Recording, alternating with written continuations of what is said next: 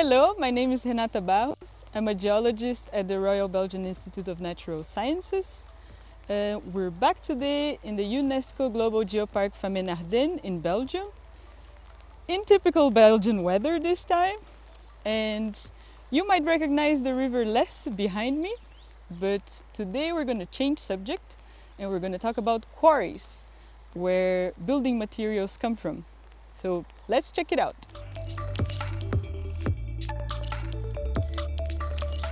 Bonjour, Serge Abi, géologue auprès du Géoparc Famenne Ardennes UNESCO.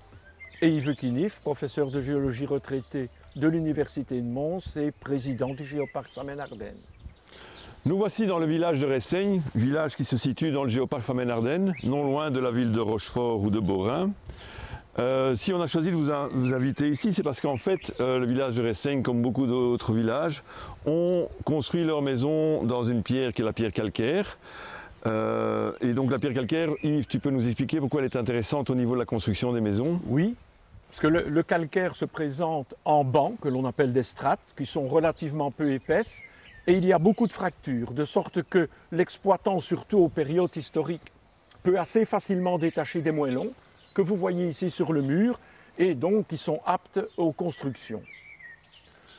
Autre chose, ben, euh, dans les périodes historiques, on ne se déplaçait pas très loin avec un lourd charroi de blocs, de sorte que là où on voulait établir sa maison, on voulait construire un bâtiment, on faisait sa petite carrière dans le flanc de, la colline et on exploitait directement sur place les pierres. De sorte que, comme ça en Haute-Belgique, en Ardennes, en Condro, ben, vous avez une corrélation étroite entre la nature des pierres qui constituent les bâtiments et la nature géologique du sous-sol.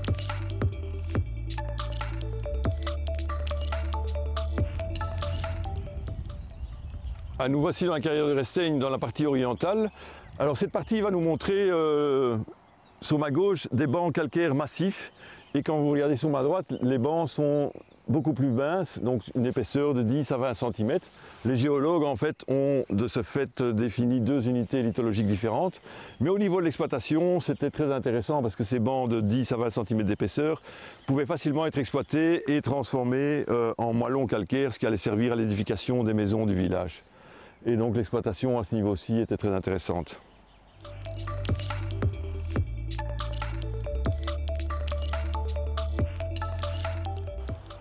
Ben, nous voici sur le front d'exploitation de la carrière de Resteigne.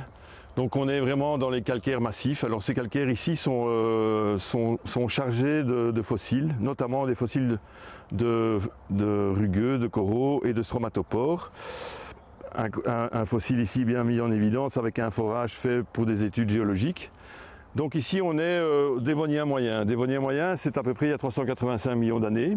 À l'époque la Belgique ne se situait pas dans l'hémisphère nord mais dans l'hémisphère sud au niveau du tropique du Capricorne. Donc on était en climat chaud et euh, la composition des fossiles que l'on voit nous permet de dire qu'on était sur une barrière récifale un petit peu comme on voit actuellement au niveau de l'Australie. Alors si on poursuit euh, l'observation de cette carrière, on va pouvoir trouver d'autres fossiles caractéristiques du Dévonien moyen.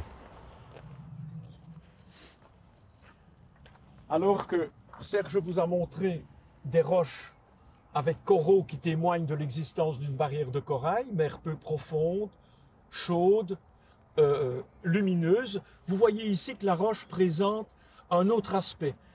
En fait, elle est constituée par une agglomération de coquilles d'un coquillage que l'on appelle Stringocephalus burtinis, un brachyopode et qui est caractéristique de cette période géologique. Nous sommes ici dans des couches plus jeunes que celles que vous avez vues il y a quelques instants.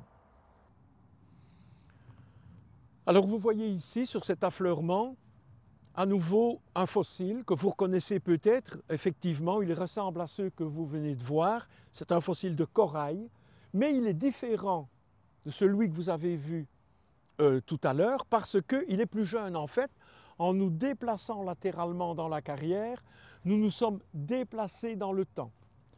Ce fossile ici est caractéristique parce qu'il marque la fin d'une première période de dépôt des calcaires que l'on appelle la formation de trois fontaines et marque le début donc d'une seconde période qui est représenté par la formation des terres d'or, avec des calcaires en strates plus minces, tels que vous les avez vus précédemment.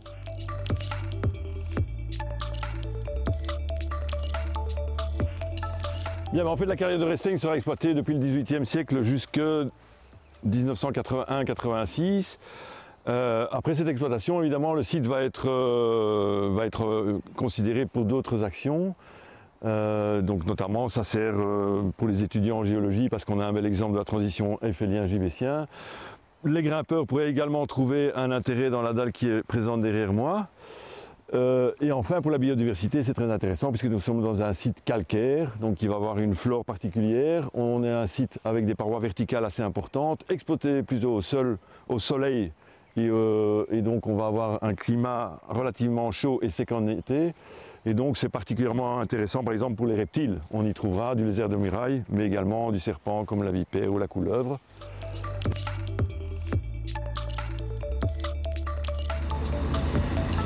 Nous nous trouvons ici, mais comme vous le voyez, dans une carrière en activité, la carrière du fond des Vaux à Wellin. Elle exploite sur les fronts qui sont derrière moi la pierre calcaire que nous avons vue à la carrière de Resteigne. C'est le même type de calcaire du même âge, c'est le, les calcaires du Givecien.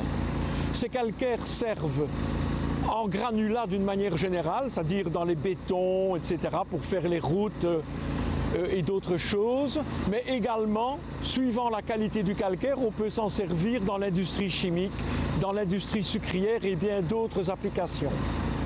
Ces carrières actuellement sont exploitées dans le respect de l'environnement.